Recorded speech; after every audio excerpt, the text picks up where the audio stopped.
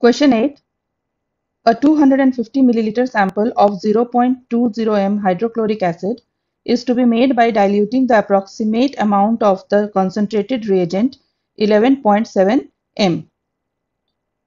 What volume of the latter should be used?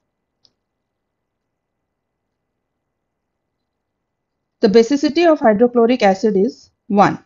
Therefore, equivalent weight of hydrochloric acid will be same as the molecular weight or the normality of hydrochloric acid will be same as the molarity or we can also say that number of equivalents of hydrochloric acid will be same as the number of moles of hydrochloric acid.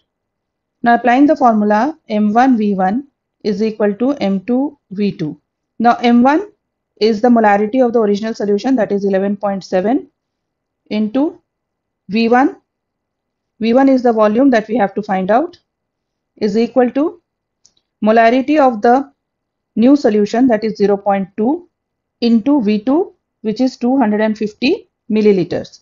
Solving this equation, we will get the volume V1 equals to 4.27 milliliters.